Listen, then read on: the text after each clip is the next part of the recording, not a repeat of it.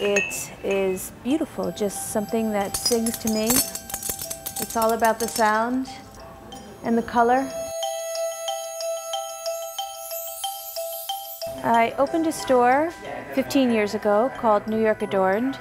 It was a tattoo shop before tattooing was legal, so I made a jewelry store as a front for the tattoo shop.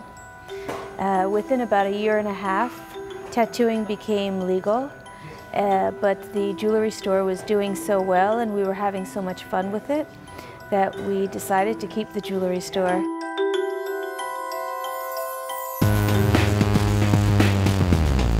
I grew up in New Jersey and I've lived in Manhattan my whole adult life.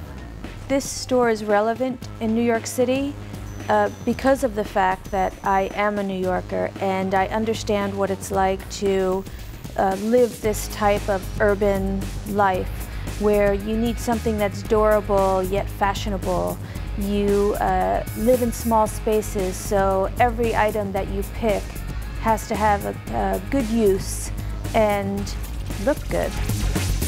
I think a lot about men. I, I feel like men don't have an awful lot of choices. For the man who's just like living, walking through life and wanting to look put together well and understated, I feel like there's not a lot of choice for that man. And I'm interested in helping that guy out.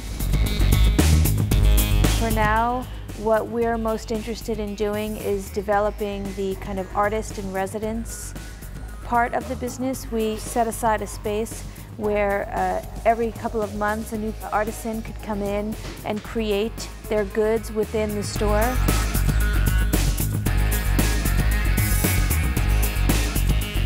Come and see what we do. I'm sure you'll be happy you did.